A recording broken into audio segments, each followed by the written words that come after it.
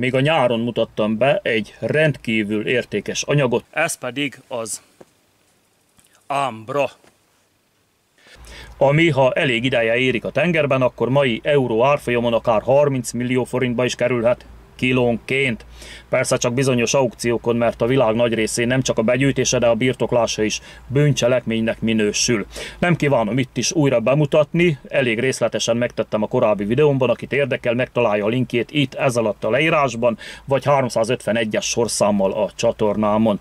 Amiért most újra említést teszek róla, az azért van, mert abban a korábbi videómban megígértem, hogy akár lesz pénz a dologból, akár nem, amint pont kerül a mondat végére, részletes beszámolót fogok adni erről az egészről. Tehát ha valakinek most nem világos, hogy miről akarok beszélni, vagy a videó végén nem lesz világos, hogy most miről beszéltem, az nézze meg ezt az említett videót, és akkor abszolút képbe fog kerülni a témával. Tehát a történet. Egy barátom Svédország nyugati partjainál gyűjtötte be még két évvel ezelőtt az északi tengerből ezt a matériát, nagyjából úgy 120 kg ami illatra, színre, állagra, házi tesztelési módszere, a megtalálásának körülményeire, mindenre tökéletesen megegyezett a szakirodalomban leírt legalább 20-30 éves ámbrával, ami forintosítva valahova 3,5 milliárd környékére tehető. Még egyszer mondom, 3,5 milliárd forint. Aztán elkezdett kutakodni, de folyamatosan falakba ütközött a bevizsgálás és piac tekintetében egyaránt, aztán végül, mikor még a helyi alvilág is megtalálta és be is támadta, valahogy sikerült elhitetnie velük, hogy nincs már semmije, mert kiderült róla, hogy ez nem az, amit várt, és elégette, vagy valami ilyesmi, de megszabadult tőle, tehát egyszerűen nincs már meg. Aztán békén hagyták. Majd két év pihentetés után megkeresett engem, hogy vállalom-e 20% jutalékért, hogy ezt az egészet átvegyem tőle az egész folyamatot, intézkedést, meg mindent.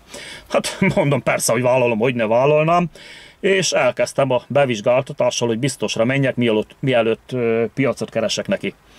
Az első vegyés csoport az simán kiröhögött, mikor közöltem velük, hogy milyen komponenseket kéne keresni a mintában.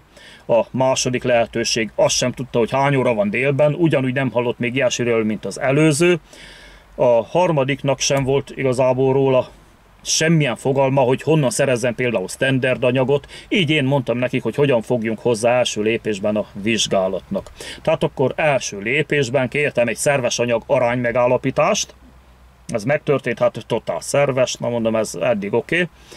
Második lépésben kértem kőolaj származékra százalék arány vizsgálatot, és ezzel befejezetnek is tekintettem az ügyet, mivel kiderült, hogy 47 százalékban tartalmazott kőolaj származékot.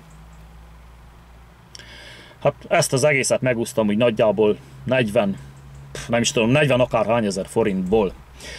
Hát eddig tartott a remény, a bizakodás, a nagyobb ingatlan és a kettes hammer álomképe. Elúszott. Bizonyára valami sámánnak vagy vagy egy ilyen boszorkánytanoncnak pont a tengeren jutott eszébe viaszöntéssel elkápráztatni az utasokat és a személyzeted, vagy valami ilyesmi, vagy esetleg valami konzerváló anyagot nem akartak vésővel kiszedni a melósok valami ilyen teherhajón, vagy hasonlón, a hordóból inkább alágyújtottak, kiolvasztották és belöntötték a tengerbe. Nem tudom. Na mindegy, ez már ez már a múlté. De ettől függetlenül, ha valakit érdekel, hogy milyen lehetőségek rejlenek a valódi ámbrában, az megtalálja az erről szóló részletes videóm linkjét a leírásban, vagy ahogy mondtam, 351-es sorszámmal a, a csatornámon. Köszönöm a figyelmet, és jó szerencsét! Szevasztok!